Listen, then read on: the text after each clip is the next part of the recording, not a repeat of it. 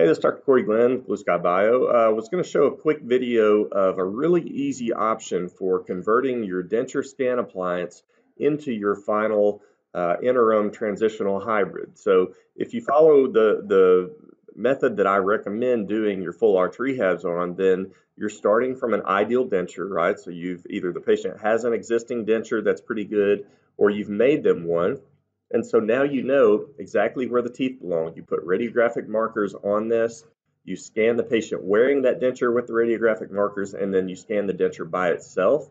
And the software enables you to pull that denture in now so that you can see exactly where um, the teeth are going to belong.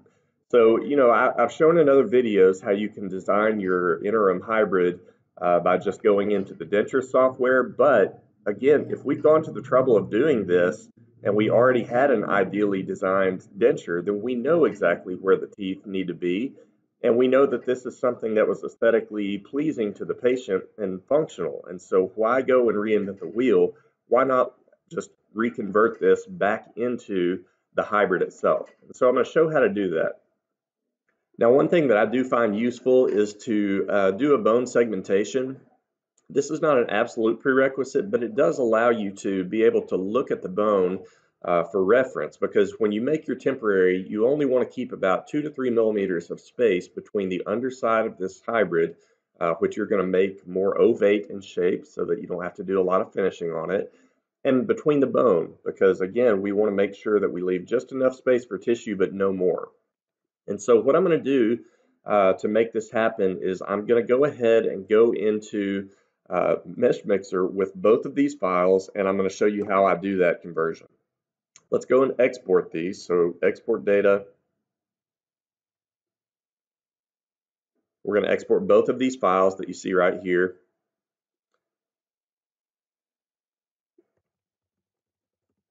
And I'm going to call this denture and bone. And now I'm going to go and open that file in Mesh Mixer. Okay, so here we have both of those done. They exported as a single STL since I exported them simultaneously, but I, I do want to separate these out. So if you just double click on the denture or the bone, whichever one, highlight it all, you can say separate, and now these are going to be two STLs that you can toggle uh, on and off. I could have done that by just individually exporting these as well, uh, but you get the idea. And so the starting point for this is that we're going to need to uh, go ahead and cut out the palate, right? This is something you don't want to have to sit there and do chair side. I can delete that. And it would be useful for me to also be able to see where those implants are so that I know that I am going to have my bridge encompassing that. So I'm going to pull in the implant tubes. Or alternatively, you can do the abutments. This is probably a little bit more useful to be able to see. So we know that we want to be able to have our bridge um, not go too far beyond these implants. We want to keep the uh, profile on the tissue side as small as is reasonable. So I'm going to go ahead and cut some of this. Select the denture.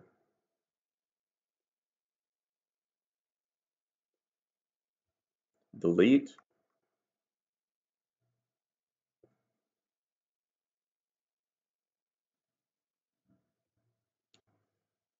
And now we can cut off any distal extensions that we're not going to need.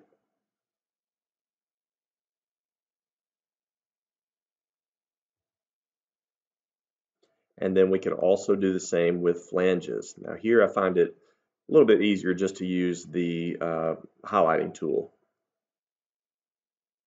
So what I'm going to do is I'm going to go to just a little bit above the teeth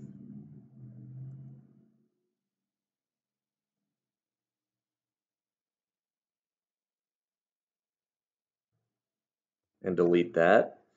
And then I'm also going to come from the inside and delete a decent portion of this as well.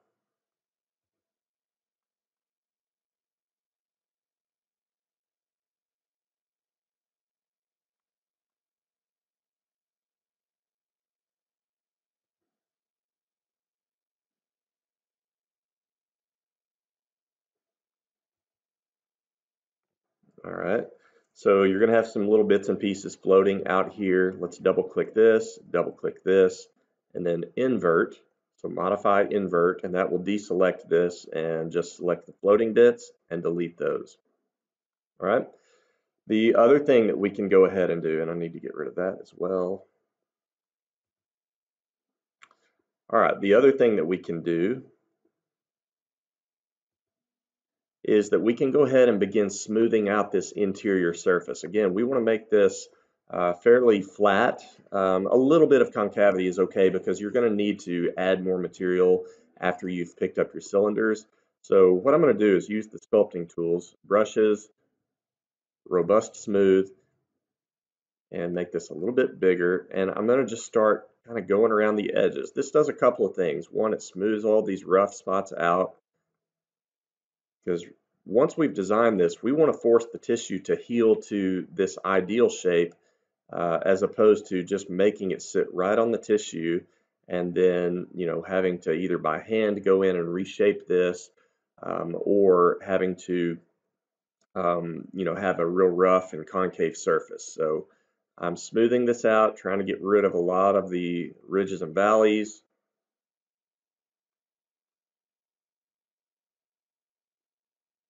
there we go and more time. Let's get rid of a little bit more of this excess.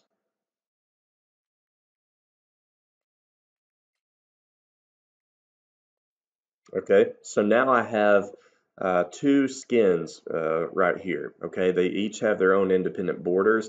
And this border on the teeth surfaces is pretty rough, so I'm going to select right on that blue line, um, and then I'm going to expand this ring a couple of times. Okay, so you can see how much has been expanded.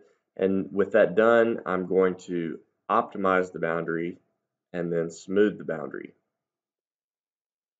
Okay, idea being that again, this won't be so jagged. Okay, so now we have two borders.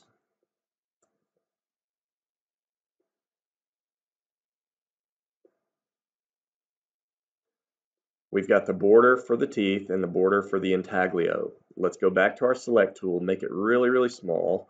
And what I'll do is double click right here, capturing that border. And with the tool still active, double click this border. So I have two borders selected here. I need to optimize that boundary.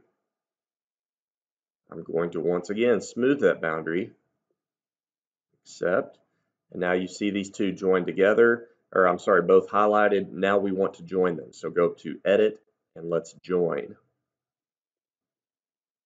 And now as you see, this closes this back up to where now it's all just one object.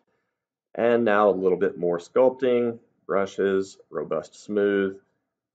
We can increase the size a bit. And what I want to do is go over this sharp transition edge.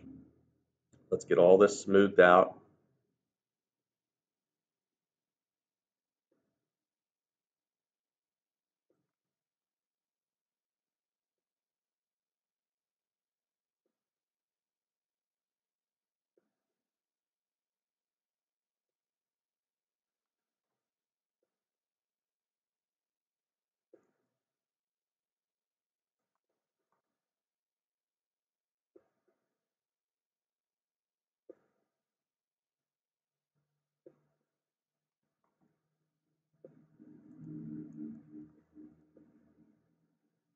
And then we'll do the same thing with the border down here towards the teeth, but I don't want to bleed over and smooth out my teeth. I want to maintain their shape, so I'm going to make a smaller spot size and smooth out that transition between.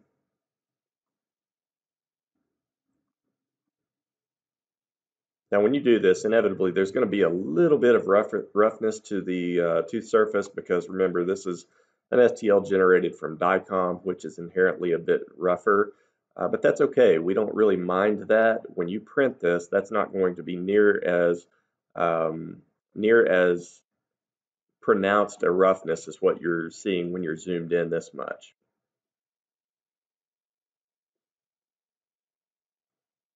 Now let's run an analysis with the inspector and it's going to point any holes in the mesh. We can repair those and then smooth that out as well. So we're 90% of the way there. This is a really smooth surface. It's minimized the concavity underneath. And if I wanted to look here at the bone, um, now I could just visually look at this and uh, inflate the underside of this to where it's in uh, closer contact with the uh, with the bone surface, right? We want to leave two to three millimeters. So let's now go to the sculpting tools and use, use the brushes, and this is the inflate tool. So I'm going to maximize uh, the size a bit and just start inflating this. My goal is not to get an absolute distance here, but more to just get rid of concavities. So you can see those concavities right here. That looks pretty good. Remember, you're probably also going to be smoothing out the bone surface and not leaving it so rough like this. So I can inflate all of this up to a pretty consistent distance uh, to the bone. And that's looking nice.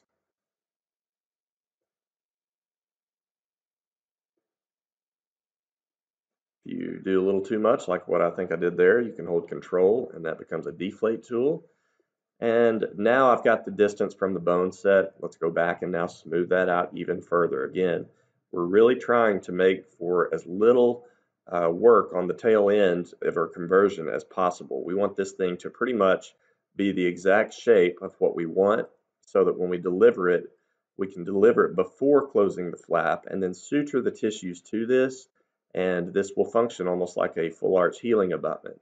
Uh, this is something I've kind of learned from uh, Danny Domingue. He's done a lot of cases this way where he just generates the shape that he'd like his tissue to heal to, and then he sutures tissue to that, which, uh, again, it's like a full arch healing abutment. It really lets you get a nice, nice tissue surface um, that's going to be concave while your restoration is going to be convex. So this is essentially done now. The only thing that you've got left to do is to make your pickup holes and if you want to go ahead and do that digitally, we can subtract those out. I'll show you how to do that. Your, op your other option, obviously, is just to print this as is or mill it as is, and then just go in and uh, by hand drill some holes here. You're still going to be much more precise because you know where these implants are going to end up. But let me show you how I would do this uh, digitally just to finish this video out. Let's switch over to our abutments. I've made abutments here that are seven millimeters long we go back into our case, remember we know where these implants are. We can always click on an implant and say uh, add an abutment, since I've already got one here that's saying replace abutment. But if you choose a custom abutment, you can make this a really long length so that it sticks out of the restoration and make it whatever size you want that pickup hole to be. Again, these are large ones. I'm going to make a 7 millimeter pickup hole here. So we've done that. Those are what was exported into this. And now with this done, we're going to go one by one, select this, and let's go and separate it. I want to separate all of these into individual STLs. Okay, so select, edit, separate.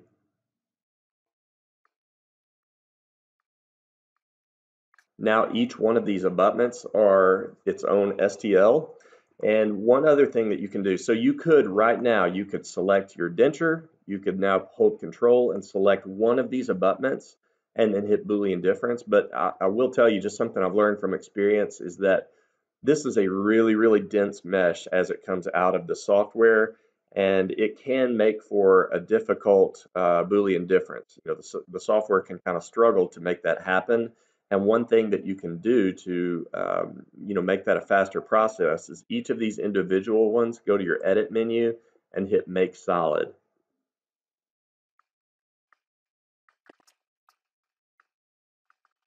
And now when you do that, you're going to see that this simplifies that mesh a little bit. You're not going to have such sharp corners and this is going to be a simpler mesh which makes for an easier Boolean subtraction. So let's do that on each of these.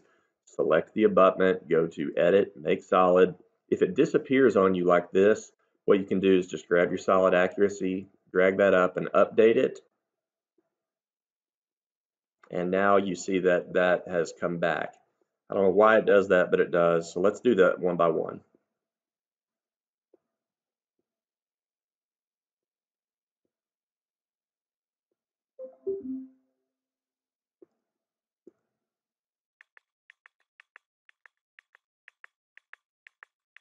All right, so you see we've got lots and lots of objects over here in our objects browser, but the ones that are visible are the ones that have been made solid.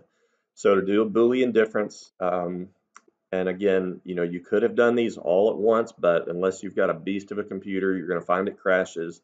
That's why it's easier to make these individuals and do these one at a time and to also uh, you make them solid instead of just the mesh as it comes out of the software. So what I'll do is I'm going to, in the objects browser, select my denture, now control, and come and select one of these, Boolean difference. And now you see that happens really, really quickly. Let's accept it. All right, and we're just going to proceed doing each of these now, Boolean difference. Happens really quick, and I'm going to repeat for all of them.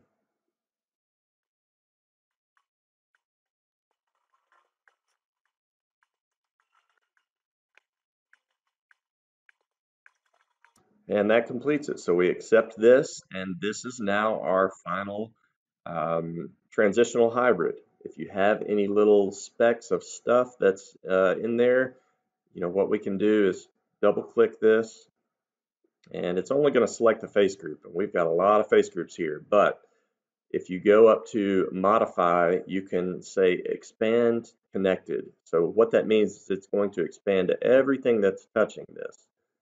All right, so when I select that, now any little bits of floating material that may be internal, external, if it's not touching this, it's going to um, you know, not be selected. Then I can invert and delete those, okay? And this is your final file. And so in just a mere few moments, you can now have a perfectly shaped uh, intaglio to your transitional hybrid you know the teeth are right because they're exact replicas of that patient's denture, which you've used as a scan appliance. And you can certainly do this uh, much quicker than you can go and design um, a, a temporary hybrid from, uh, from nothing, right? If you were to go into exocad or the denture module in Blue Sky or 3Shape, it's going to take you much, much longer to make this. Um, and you're still going to, you know, have to turn this on and off to reference those tooth positions when you've got this option, this is just a much, much faster way to get to that same end result.